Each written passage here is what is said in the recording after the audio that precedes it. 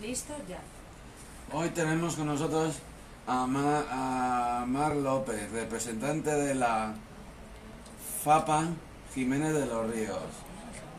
Ah, Jiménez de los Ríos.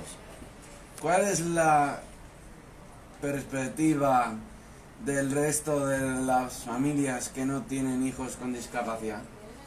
Pues mira, es muy buena pregunta. El resto de familias que no tienen en su seno una persona con discapacidad pues en principio lo entienden muy bien todo, son partidarias de la inclusión, lo ven todo perfecto, pero luego les cuesta arrancar, les cuesta seguir en la lucha diaria que esto supone. Hemos estado yendo antes en la mesa redonda como las familias con personas con discapacidad tienen que luchar constantemente, día a día, es un sacrificio bastante grande. Entonces las familias eh, que no están en esa situación realmente les cuesta seguir.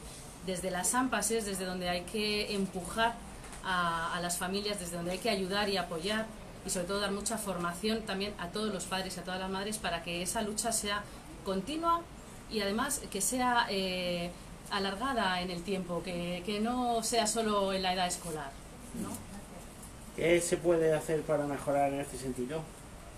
Pues hay que hacer muchas campañas de concienciación, de sensibilización, eh, organizar actos en las que las AMPAs puedan llevar sus experiencias, porque luego te das cuenta que hay cosas que se pueden hacer desde las asociaciones de padres y madres y son muy interesantes. A nivel de patios inclusivos, por ejemplo, hay experiencias de AMPAs que son maravillosas. Preguntarle también a nuestros hijos y a nuestras hijas en esos encuentros qué es lo que quieren, porque de verdad que, que desde la adolescencia y desde la niñez eh, se aportan ideas buenísimas y que además luego se pueden llevar a cabo. Y en las AMPAs eso se recoge muy bien porque para eso somos parte interesada y son nuestros hijos y nuestras hijas los que están ahí aprendiendo. Mm. ¿Qué te parece el encuentro? Bueno, el encuentro está muy bien, eh, se está hablando de cosas muy interesantes y en concreto en nuestra mesa que era de, de educación inclusiva, pues ahí hemos podido escuchar las, las, aberraciones que a veces se cometen a nivel de titulación, por ejemplo, la falta de apoyo que, que se sufre teniendo una discapacidad y terminando la etapa educativa, no se sabe y después qué era la pregunta y después qué y no hay no hay una respuesta concreta y ha sido muy muy interesante. Pues muchísimas gracias y, y gracias por haber venido a vosotros a este siempre. Encuentro. A vosotros.